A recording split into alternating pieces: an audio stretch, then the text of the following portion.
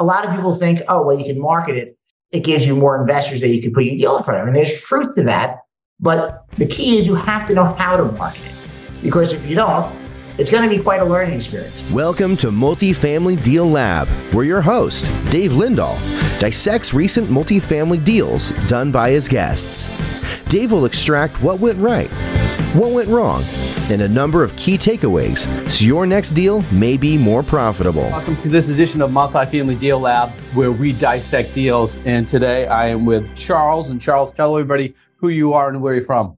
Sure. Charles Seaman, originally from Brooklyn, New York, currently in Charlotte, North Carolina, and an RE Mentor alumni and very proud part of the organization. Awesome. First, I have to ask you, are you a Yankees fan? Mets fan. I have some commonality with Yankees. That's awesome. Good. I know, even though the Mets beat us, I still don't hate them. 86 World Series. It's almost sympathetic. It's been that long since they've won, so there's some compassion. That's true. Yeah, we went through that drought. All right, so let's talk about this deal. Tell everybody the size of the deal and how much you paid for it. Just give us a reference of what we're going to talk about today. Sure, absolutely. It's a 236 unit deal in the Atlanta MSA, and the purchase price was 32,300,000. 32 million 300,000 that's a big raise. First when i see that number the first thing i think of is that's a big raise. So there's going to be good lessons on how to raise the amount of money that you needed to do that deal. But let's talk about how you found this deal. Sure.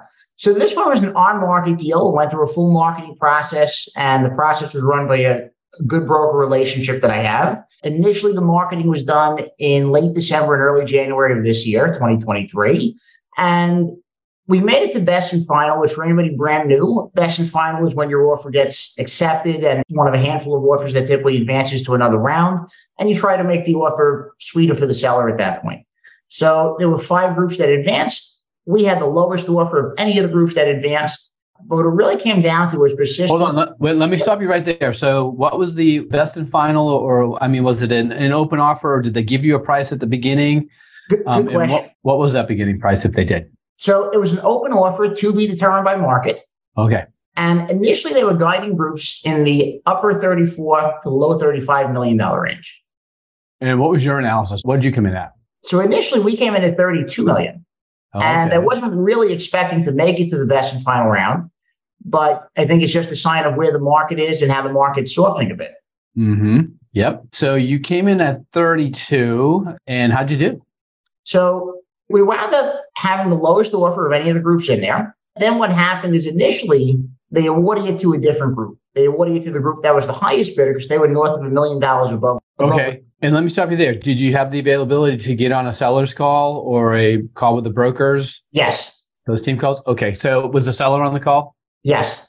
All right. So describe to everybody, for those that aren't familiar with the seller's calls, what they are and, and what goes on there, and if any curves were thrown at you at that time and what the result of that call was. Sure. So for anybody who's never been on one of those, what the seller and the broker are typically doing is they're screening you to make sure you have the capability to close. And a lot of times when you get to a best and final round, they're going to give you a questionnaire, and the questionnaire is usually going to ask you about the debt that you plan to use, the equity, and the track record that the team has, and just some of your underwriting assumptions. So that way they can really make sure that you're a serious buyer and that you have the ability to close. So many times what they do on those interview calls is they take what's in the questionnaire and they basically see how confidently you're answering those questions. So they're asking you about the debt, they're asking you about the equity, and they're asking you what your track record is. Just one of the big things at any time, but especially now as the market softens, is can a buyer really go out there and close? So the way that you answer those questions sometimes can be what differentiates you from the pack. Hmm. Absolutely. So, was there any one particular question that you got that you had to answer this question a certain way?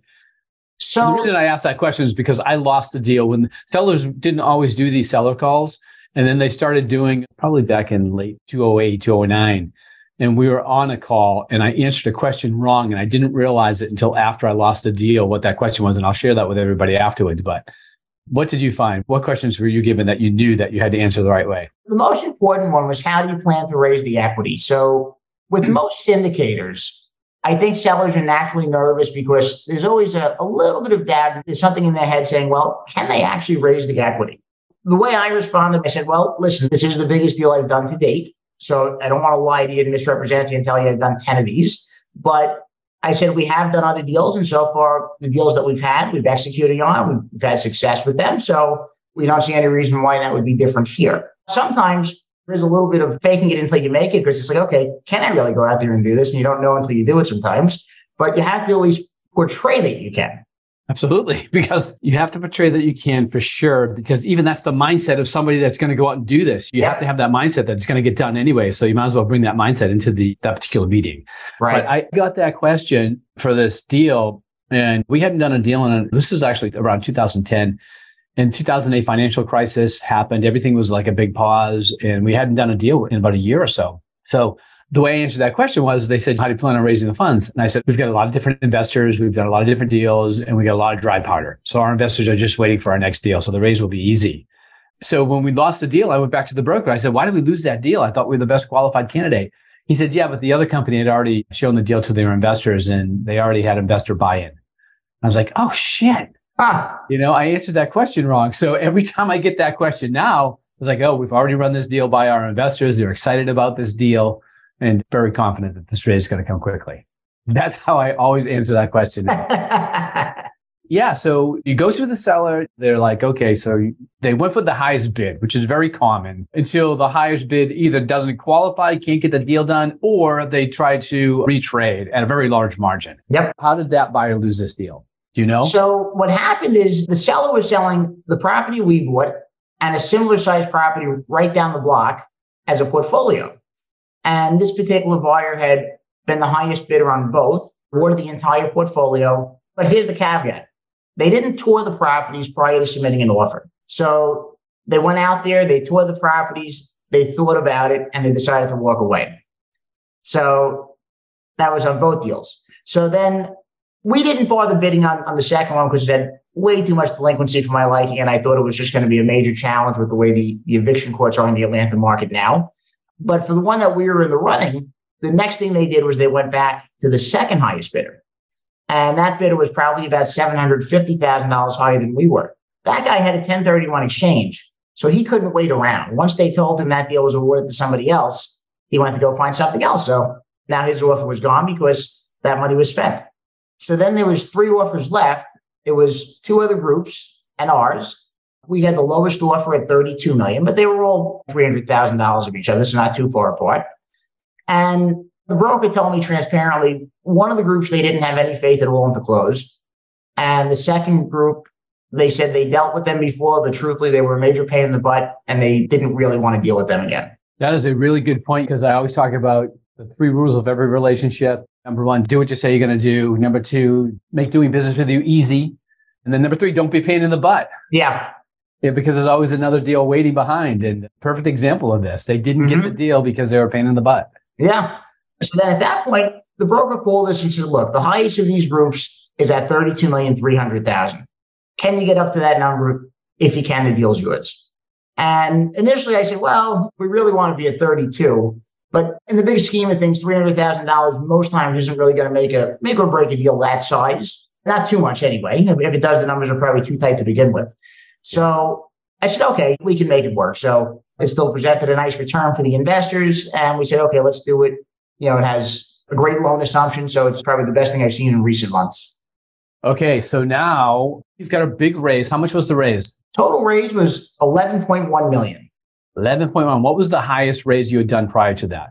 6 million. Ooh, so you got a double going on here. Yeah. All right. So let's talk about this raise. How did you get that raise done? Well, it was a mix of common equity and preferred equity. So we used $5 million of preferred equity. Who's not sure what that is? Preferred equity is basically it's a higher position on the capital stack. So usually what's happening is the preferred equity partner is taking a lower overall return, but they're doing it for more safety. And that way, if things go terribly wrong, their position and their equity is paid back before the common equity. So we went with $5 million of that. And then the $6 million. At what rate? So 6% for the current pay, 6% when it was repaid, and then a 10% equity kicker that we had to give them as well. So the preferred equity was 6% plus what? Plus another 6% when it was repaid and 10% of the profit on sale. So essentially, it would have okay. worked out to something like 14.3%. Well, hold on. So compare that to the common. What did the common get? So the common was getting north of 17%, and the returns for the common equity actually improved once we brought the pref equity in because being that they were taking less, meant we were able to give more to the common equity. So 17 is what we really projected, but it could potentially be as high as like 20% based on on the returns that we're able to give them now. Okay. So if anybody's confused, I'm just a little bit confused. I understand it, but I'm a little bit confused. So 6% pref. So they're going to get 6% basically guaranteed, right? It's cumulative. If you don't yeah. hit it, it's cumulative. Okay. Right. And then it's the 6% on the back end. Mm-hmm. And then a 10% of the profits. Right. That calculation there is kind of quirky. You'd have to like get a calculator out to figure out what that might be. Yeah. It worked out to something like 14.3% based on the projected sale price, but yeah, it definitely has a few moving parts in there. Okay. So now you got the common, which you were offering at 17% overall return. Was that uh, annualized or is that IRR? Annualized. Okay. So that's annualized over 17. What did you estimate that their cash on cash was going to be? It was 8% is what we were projecting over the life of the deal. And then, so did you think you're going to hit that first year? So in this case, 8% no. We were expecting 6% in year one. With stress testing the deal, being the deal had fixed rate debt and a great interest rate, what we figured is if the income stayed exactly the same, if the taxes increase, which we expect they will, and if the insurance increased, which we also expected, then even with those things, we'd still be at a 6% cash on cash return in year one. Okay. Then year two, year three, what's your projections? And then we were projecting north of 8% in year two, north of 9% in year three, and then it just gets sweeter each year that you stay in. Well, pretty good. All right. And that's not cumulative. The risk is not as great there. So excellent. All right. So now you've got your two tiers of investors, or you've structured the deal. You've got the two offers that you're bringing out to the marketplace. How did you fill them? Well, it definitely was challenging. For anybody who's been out there raising capital recently, it's certainly been challenging with the market shifting a bit. Initially, we started as a 506B, so that was open to accredited and sophisticated investors. Mm-hmm. And more of our existing network is probably sophisticated, so we wanted to make sure they had a chance to invest. So we ran that for a short period of time. I think we did about three weeks on that. And then we switched over to a 506C, which for me personally is the first time I've done one of those, and, and probably for most of my partners as well. So it was a learning experience. A lot of people think, oh, well, you can market it. It gives you more investors that you can put your deal in front of. And there's truth to that. But the key is you have to know how to market it. Because if you don't, it's going to be quite a learning experience.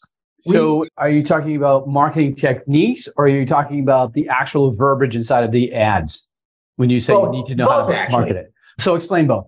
Yeah. So the first thing is with the 506C, we were figuring out what the best way to market it was. So with this particular deal, what we did was a whole bevy of Facebook ads. And we hired a marketing consultant who was supposed to have a history of doing similar things with 506C offerings, and he's had good results with them. So at the beginning of the campaign, we expected over a period of two months, it would bring us about 2,000 leads. And of those 2,000 leads, the expectation we had was that 88% of them would probably never answer the phone. So we knew that of the 2,000 leads, there was probably 240 that would really pick the phone up at some point that we'd actually have a chance of working with and engaging. So what happened is we probably got closer to 1,000 leads versus 2,000 over the life of the campaign. So that reduced the overall pool that we were working with. And we did wind up getting it done, but it certainly took a lot more creativity. All right. So explain that. yeah. So, what did it take to get it done? What it took to get it done was a lot of teamwork and a lot of the GP team members willing to put more equity in because we realized that the campaign hadn't produced the immediate result we wanted it to. It did bring in a lot of leads, and it got at least a couple of that we were able to connect with and engage with. But in actuality, we only converted three of them that really wound up coming in the deal. So by the time we got closer to closing, we had a shortfall on the equity, and thankfully our team stepped up and we had the equity to put in, but certainly it took a lot of effort. All right, so let's break down the burst. So it's interesting to know that Facebook campaign really didn't work. You, yeah. got, you got three investors out of it, but it didn't really work. Because when I read that in the show notes, I was like, oh, that's interesting. I wonder how they did that. So we could expose it to everybody else and everybody else could do the same thing. But it was really difficult to make that work. And I know probably why and it's just because they see you on Facebook, they don't know you. Right. You know, it sounds interesting, but then at the same time, like when they get, need to take that next step, like I don't know this person. That's right. why when people are put themselves out there in social media, like on Instagram and TikTok, and they create their own podcast or they go on different podcasts, and when people Google your name, they can see all these different things on there, and then they'll go through them because they will, and then they get to know you. It's not an easier way, but it's through time you build up this like credibility. Right. You know, through time and content, you build up credibility, but it takes time to build it. So that's actually the best way you're going to use social media is to start now and start building that content out there. And so, that makes a lot of sense because we really figured the campaign would have more long lasting impact because we said it certainly didn't have the immediate pop we wanted. I said, I mean, like I look at it on the flip side, I said, well, if I'm investing passively in somebody's deal, what are the odds that I just find them online, click on an ad, and I'm going to be interested in giving them $100,000? And the thought would be pretty slim Now, to your point, you want to know them, you want to feel comfortable with them. So I think that's exactly what happened here, and exactly a lot of the people that clicked on those ads are probably thinking. Let me ask you a question. When they clicked in and then they get onto your list, okay, did you have autoresponders set up, like an onboarding process set up inside of your CRM? So we did wind up having that, but prior to doing that, we had somebody from the team call and do an individual call with them. And many of them didn't answer, some of them did even the ones that did answer, a lot of them pretty quickly expressed not having any interest and, and not really wanting to find out more. And then you get a smidgen of them that actually had interest and wanted to engage and talk about it. So all of them we did wind up adding to our mailing list so that way they'll receive our, our mailers in the future and be on our drip campaign. I think having that personal connection with them for the ones that did answer probably went a long way. I think as a marketer, I've been in business for many years and I study marketing, and this is for everybody else as well. Had you immediately, once they signed up, you sent them an onboarding email that just lists all kinds of credibility. You know what I mean? First, it welcomes them to the community and then it tells you what you're all about, this nice, warm and fuzzy, nurturing email. And then below that, it's like, by the way, you want to learn more about us? It's like, boom. I think who does this best is the guy who does uh, Alex, I forget what his last name is. He teaches YouTube ads, right? And man, that guy, if you just click on one of his YouTube ads and you're interested in it, he follows you everywhere for like two years. You know? He's always popping up. And then when you click on some of his stuff, you see testimonial after testimonial, video after video, podcast after podcast. I mean, it's just overwhelming. So he does a really, really good job at that. But had you done something like that in the meantime, and they could have actually done the studying instead of getting that phone call right away, because it's almost like, ooh, because they know you want something from them. Right. You know, and that something is money. Yeah. So, it, so they're a little bit nervous because before they've got to like and trust you before they're going to do anything with you. Yep. So that being said, in terms of raising the money, so break it down. $11 million. Where did it come from? Yeah. So what happened is we wound up getting six million on the common equity side. So what happened is we wound up with probably about four million in there, and then we had to come up with a shortfall of. Where did the four million come from? Was it everybody's list? Did everybody go to their That was everybody's list. Yeah. Okay. Good. So that we reached out to existing relationships. The marketing campaign only brought in a small amount, but most was just existing connections and existing relationships that we had. So that that helped a lot. And then the shortfall we had to come up with from the GP team. So that, that wound up being a lot more costly than we thought, but they got the deal done. And the pref equity actually came through an introduction from a friend of mine that had done a deal with him last year. And he said he had a good experience. So he made an introduction and then we connected with them probably about a month into the process. They gave us a term sheet. And similar to a lender, pref equity is going to do probably a similar diligence process. They're going to run through a lot of the same things that a lender would and they're going to make sure that everything meets their criteria. That way they feel comfortable funding it. So is that a private equity company? Yeah. Okay. Interesting. All right, good. All right. So private equity for the pref, four million in common comes from everybody's list. Two plus million comes from everybody's back pocket. Right. And now I'm in the process of backfilling right now? Yes. Okay. By the way, if anybody wants to get on Charles's list, you can see that QR code up in the upper right hand corner. That's what I was clicking on earlier to see what it said. You can get on his list that way if you're interested in talking to him about this deal. So, okay, so that was the raise. All right. So now let's go into the property inspection. So, who did it and what turned up? Yes, we had a third party management company do the inspection, and they did both the physical and the financial due diligence. So the physical we did over a three day span in late February. And during that time, they had somewhere between 30 and 40 vendors out there. They had three foundation guys. They had 30 to 40 vendors out there? Yeah. Wow. they did a pretty thorough inspection. You know, two of the foundation guys that came out really went through everything and they crawled through every crawl space at the property, which was great. Thankfully, the inspection went pretty smooth. And we found that there was some more foundation work needed than we had anticipated. But overall, our CapEx budget was good. It just wound up being reallocated. And the financial due diligence didn't turn up any red flags, so that was good.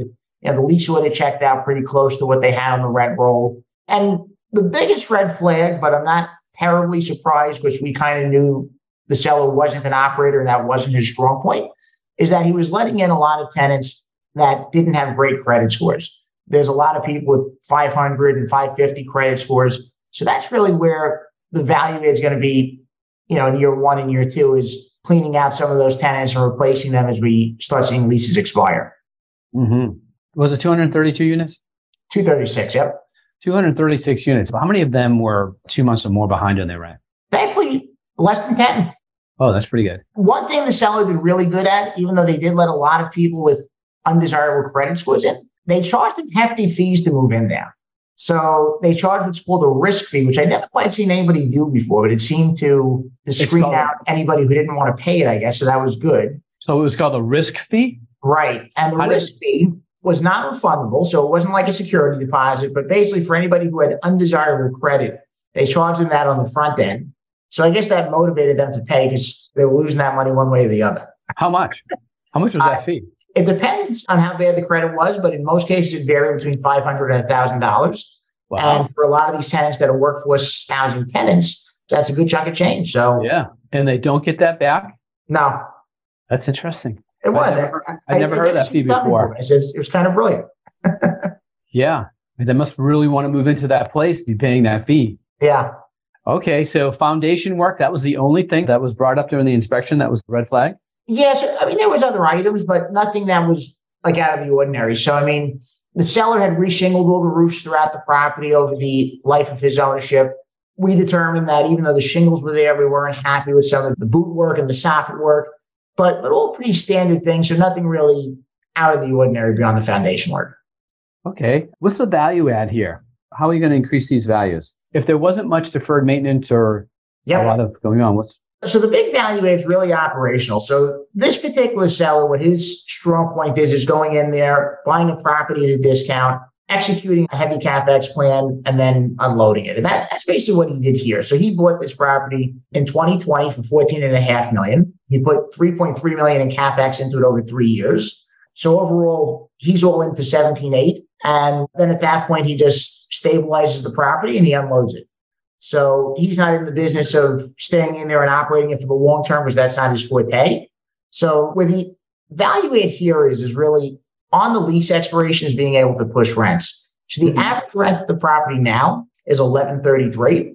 And based on comps in the area, what other comps are actually getting right now, what we see is that a lot of the comps are supporting an average rent of 1420. We projected 1356 over two years so being that a lot of the heavy lifting's done, it's really just cycling tenants through as the leases expire and then being able to push the rents effectively. What are you going to do to the units? Is there any upgrading to the units that are needed? Not much. So he, he, actually upgraded 229 of them and he did a pretty nice job. 1971 property. I mean, he, he put some good money into them so you can see aesthetically they look good. I think there's always going to be problems with the 70s property. You're always going to have some things that go wrong, obviously, on the maintenance side, so we'll have to address those. Yeah. But We'll upgrade the remaining seven units, and then any other beautification work would really be in the common area. One thing we found in recent years, I think you would actually mention this many times through the years, was signage and landscaping go a long way. And mm-hmm. there's a lot of truth to it because you can have the most beautiful apartment in the world. But if people aren't motivated to walk inside it, they'll never know that. So the thought here is if we beautify the, the landscape and spruce the property up, that's something we can certainly use to attract more prospective tenants and a more desirable tenant base. Absolutely. So I was on a call the other day, and one of the foundations I support is an organization called Abington Copes, which is a drug prevention. It's drug prevention for youth. It's drug support for people that are using, that are looking to get out of using. It's support for people that are not using anymore and looking to live a productive life so we support that community and we support that at Ultimate Partnering, by the way. If anybody's interested in ultimatepartnering.com, that's our big event that's going to be happening in San Diego coming up. Huge. You can learn about it there. But so what we're doing is we're expanding now. So now we're able to give support. We're able to give Narcan We're able to educate the youth through other vendors coming in and even start doing drugs. But so our next step is to actually get a home for women that are recovering. So it's a, the next step back into society. So like I've done in every all my businesses, I've gotten somebody that's been successful in the business and then asked them how to do it. I didn't know him, he didn't know me. So he was explaining that business to me as if I knew nothing about real estate investing, which is that's the way I wanted it. And he said to me, he made this statement. I said, so I said, Ryan, so what am I missing? So we went through all the possible ways of income. We went through all of the different expenses. I said, but what else do I have to factor in to determine where I need to be to make this house profitable? And even though it's a nonprofit, you still need to be profitable. Do you know what I mean? To keep it running. Yep. He said, every month, no matter what, there's going to be a surprise.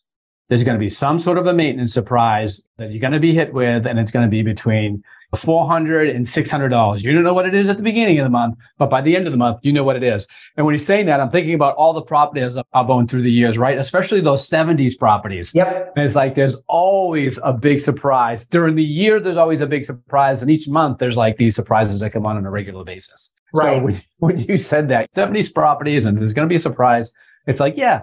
And knowing that and factoring it in, you're prepared for the surprise. You don't know what it is, but it's going to come. Right, absolutely. And most times it usually winds up being a plumbing issue and, and occasionally an electrical one, I find. yeah. We've even had them. So one of our properties, the 70s properties, the wires across the streets were too low from property yep. to property. A high truck came by and ripped down the wires. Oh, geez. Then we had to, and then what that caused was, of course, some units lost electrician right out there, but the city got involved. And then the city required upgrades on the two buildings that were affected. And that was like, oh shit, you know, it's like 10, 15,000 each. And so like you remember Gomer Pyle from uh Yep. Surprise, surprise, surprise. All right. So there's one more note that I wanted to get, and I have it down here. What was it? It was about oh, acquisition fee. What's the acquisition fee in this deal? So in this one, it was three percent of the purchase price, so nine hundred sixty-nine thousand. Nine hundred sixty-nine thousand. Woo! That's awesome. General partners split that, and then you described what the investors were getting. But what are the general partners getting? What did you project? in terms yeah, so, of not percentage, but give it to me in terms of profits. What yeah, are you going to share? Absolutely. So for the general partners, what we were projecting, so I mean the acquisition fee obviously on the front side. Yep. Then on the back side, there's a disposition fee, and that's four hundred twenty-five thousand. That again is projected, so it obviously will fluctuate depending on where the sale price is. And that's is that one percent resale price? Yep. So you're projecting you're going to resell it for forty-two million. Right. So then, of the equity that's created, what percentage are you keeping? So that we're doing a 70-30 split. Okay. And we have a hurdle, a 16% IRR, where if the investors achieve that, then anything above that amount gets split 50 50. So for the full GP team, we're expecting somewhere around 2.1 million for the equity on the sale. And then mm-hmm. that will be split amongst the different partners. All right. So we've got a million in acquisition fee. We got a couple million coming out of the deal, plus a $425,000 disposition fee. What about the cash flow? The cash flow, we're not really seeing a ton on the GP side. There, there'll probably be a very minimal amount. Yeah. The lion's share of it's really going to go to the LPs throughout the life of the deal. And then for the asset management fee, we're using Lighthouse Management Solutions we met through you guys. They'll be collecting that and supervising the, the management company. By the way, so that was a referral that we don't do that. Uh, okay. Just if anybody's listening. Sorry about that. We referred to somebody. We gave you a referral to another team. So you get the asset management fee per month. And are you splitting that or is that going towards I know a lot of people use asset management fees in order to run their companies for payroll. What are you guys using for yours? Are you splitting it? So for payroll, what we typically do is we usually divide up the acquisition fees and just budget those out. But that's probably something good to think about going forward. Yeah, I've seen that model and it, and it works works pretty good. All right. So now I want to ask you as we conclude this, is that there's a lot of good learning lessons in that deal. When I saw this one come across my desk, I was like, oh wow, this is a good deal to talk about. So congratulations on the deal. Let me ask you about what is in terms of books that you read. What is your favorite business book that you've read through the years? And what are you reading now, if anything? So my favorite one's probably Rich Dad Poor Dad. You know, yeah. probably a classic one that everybody picks. I've always found that one very inspirational. It's very common sense, I would say, a lot of things, but it's not common sense if, if you're not exposed to that. Mm-hmm. So for me growing up, I was raised by a single mother and I never really was around passive income. So the first time I ever was exposed to that was at the age of 19 in network marketing.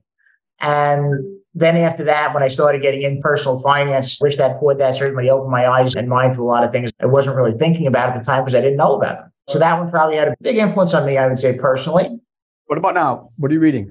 Right now, I'm not reading any books currently. I probably do a lot more articles and blogs nowadays. I need to start reading books again. Uh, yeah, there's a lot of good ones out there. You know what there I found? Are. If it's a business book, I will read it page by page because I like to take notes. I like to be able to go back and I've got huge bookshelves in my house. They're everywhere. And I've got this section of my favorites. I always pull out the favorites and I read once in a while. I read all the highlights in there.